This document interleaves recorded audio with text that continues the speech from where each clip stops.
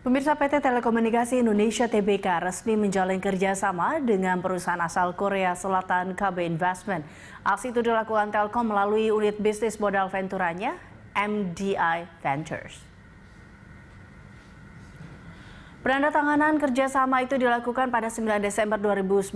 Pihak MDI belum dapat menjelaskan detail dari aksi korporasi itu. Aksi itu merupakan realisasi dari strategi MDI yang tengah fokus berinvestasi pada startup di Indonesia dan Asia. Adapun target penggalangan dana dari aksi itu diperkirakan mencapai 100 juta dolar Amerika. Inisiatif MDI Ventures untuk menarik berbagai investor luar negeri ditandai dengan pendirian MDI Ventures Singapore Office yang telah meraih izin operasional dari otoritas Singapura pada April 2019.